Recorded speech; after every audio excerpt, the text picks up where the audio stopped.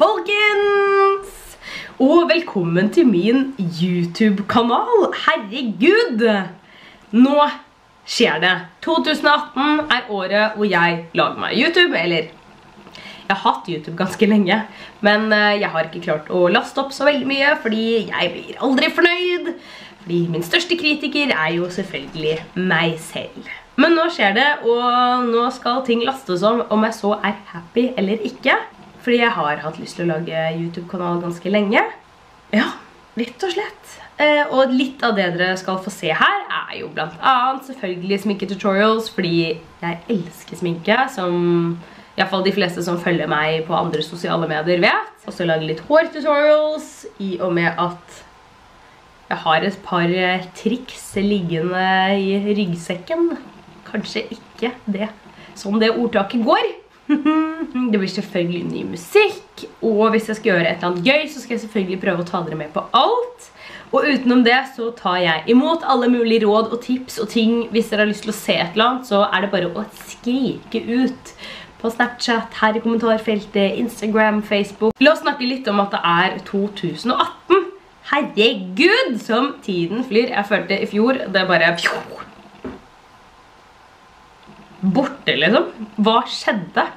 Og på nyttårsaften, herregud, de som eh, følger meg på Snap vet jo at jeg ble jo helt emotional. Uh, og jeg må helt si at det har aldri skjedd meg. Jeg, uh, jeg tror aldri jeg har grått på nyttårsaften før, men i år så klarte jeg ikke å stoppe. Det var helt krise. Og jeg vet ikke, jeg var bare sånn rørt. Jeg, ikke, jeg tror jeg bare var sånn der, yes, nytt år, nye muligheter. Ikke det at det året som har gått har vært så ekstremt kjipt, men det var bare sånn digg å si farvel til 2017. At man liksom kan begynne litt på nytt da, med blanke ark. Eh, så ja, jeg satt jo da... For det første så gråt jeg i det jeg så det første fyrverkeriet poppe opp. Da kom den første tåren. Og så fikk jeg en suss av kjæresten min, og da klarte jeg seriøst ikke å stoppe. Så jeg måtte jo sende han ut, bort fra balkongen, bort fra mitt åsyn. Fordi jeg klarte ikke å stoppe så lenge han var i nærheten. Helt krise. Jeg skjønner ikke hva som har skjedd. Er det, er det noen andre der ute som også gråt på nyttårsaften?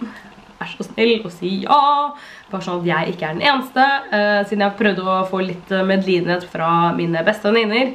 Og uh, det fikk jeg ikke. De lo. Hyggelig med venner dere, hæ? og utenom det så har jeg kjøpt meg en notebook.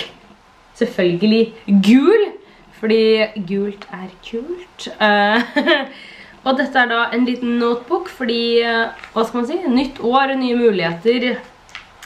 Her skal alle mine gode ideer skrives ned.